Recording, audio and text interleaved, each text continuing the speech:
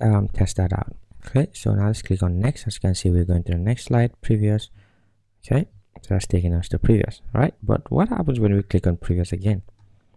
Um, nothing happens but let's click on next. But actually uh, it seems like it did um, uh, crash. Okay so let's refresh this. So let's click on previous. All right so nothing happens. But when we click next as well um, something happens but we have to click it many times. So let me show you so i click on previous click on next everything works fine. But when i click previous twice one two when i click next once it doesn't work. I have to click it three times okay? So we want to um, uh, make sure that doesn't happen. So let's head over head over to our text editor. So we have to do some checks. So let's see when we're going to previous. We want to say if okay this dot current index um, equal to equal to oh, zero we want to just return. Okay?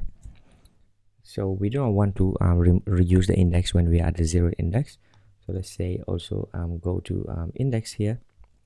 So let's say if um, this dot current index is equal to um, this dot slides dot length minus one we return okay so that will um, uh, disable that, that issue we've been having about um, when we reach the end and we click uh, things don't work as expected. So we're going to previous two three four. But now when i click next once it should work okay? Because um, there's no effect when i click on previous and we're on the first slide. As you can see we're on the fourth fifth. When i click on next to um, well apparently it um, breaks. So let's um, see what's the problem is. So this dot current index equals to slides this dot slides dot length minus one. We are returning but apparently it's not having any effect. So um, see what the problem is. This dot current index. Okay.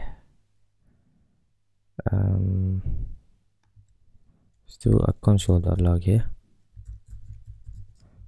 and uh, let's see in here. Okay so i'll refresh that. So when we reach the last slide this will say in here but it's not. So let's do a console dot log of uh, this dot current index. And let's do the same for this dot slides dot length minus one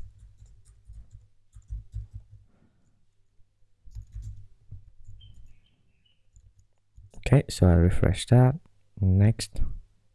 0 and 4 1 4 3 and 4 4 and 4 5 and 4 so um apparently we're having an issue. So um i'll just do a bit of debugging and um i'll re resume the video when that's done okay the issue was a spelling mistake. So instead of ln it should be LEN l-e-n g-t-h so everything was working fine but um, this if statement was always wrong because of the spelling. Okay so save that come to the browser. Now when we reach the end that's the last one we won't be taking to um, any further. Okay? So next let's handle um, having many items on the slide. Okay? On a single slide. Okay so um inside of props here um, we have items per slide okay?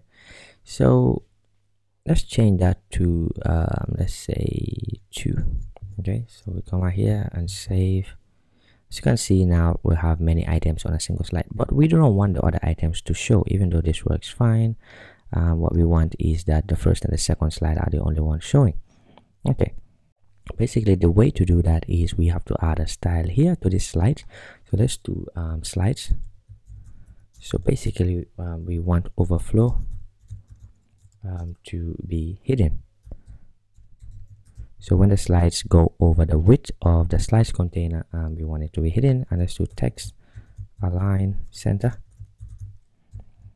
Okay.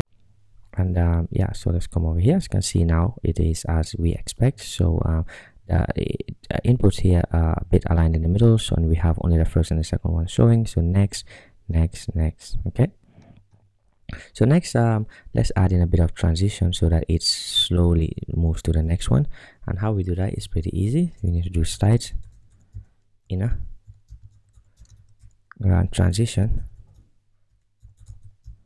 And it is margin 0.6s uh, you can put this number anyhow you want and um, an effect is out.